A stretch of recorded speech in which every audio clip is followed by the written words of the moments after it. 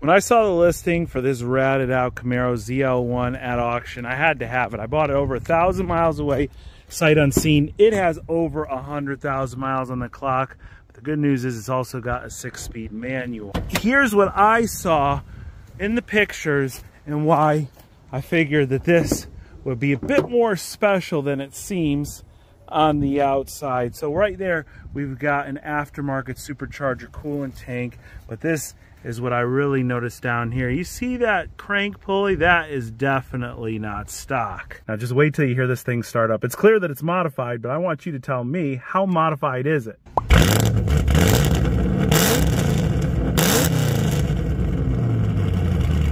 Now from the factory, supposedly these had 580 horsepower. This one feels like it might have a bit more. Whoa.